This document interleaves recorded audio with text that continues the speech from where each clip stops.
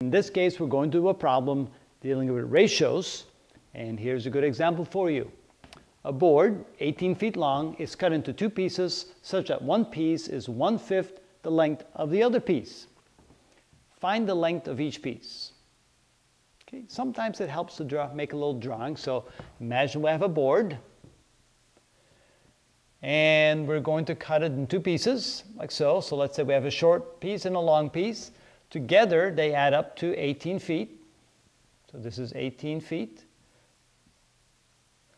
And um, the short end is one-fifth the size of the big end. All right, so if we call this x in length, if you, if you let x be the length of the short piece, then 18 minus x would be the length of the long piece. And then the problem says that the long piece is five times as big as the short piece, or the short piece is one-fifth the length of the big piece.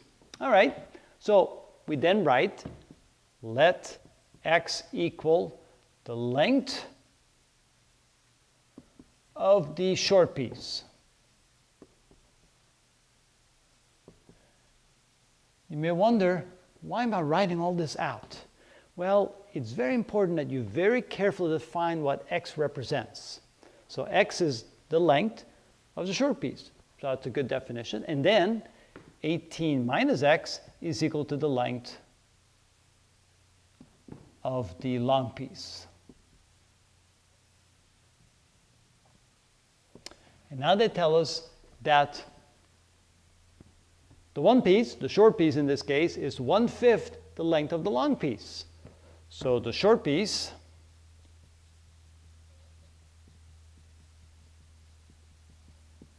or I should say the length of the short piece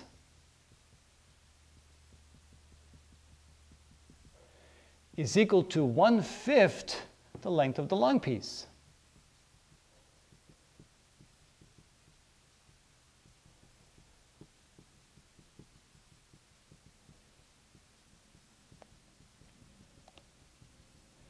So you can see that mathematical equations are basically just simply mathematical translations of an English sentence. So if we now represent x for the length of the short piece, so x is therefore equal to 1 fifth the length of the long piece, and the long piece is 18 minus x. And now we can go ahead and solve this problem. First thing we want to do is get rid of the fractions, so that means we're going to multiply both sides of the equation by 5. So multiply the left side by 5, the right side by 5. So 5 times x gives me 5x. 5 times 1 fifth, that cancels out. So I'm left with, like that, so I'm left with 18 minus x.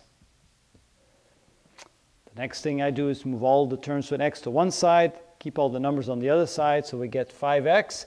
And re remember, when you cross over the equal sign, with anything, the sign changes, so this becomes 5x plus x equals 18. Now let's move over here because we're running out of room.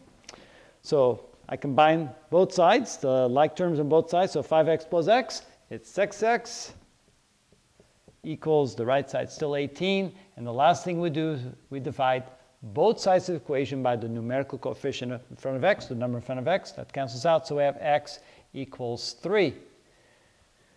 Going back to our definition, since x represented the length of the short piece, that means the short piece was 3 feet long.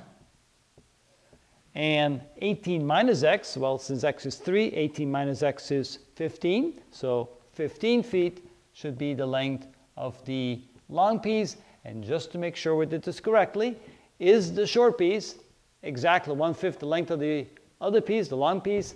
3 is exactly one-fifth of 15. It should be, because 3 divided by 15 is the same as 1 over 5. And bingo, we know we did it correctly.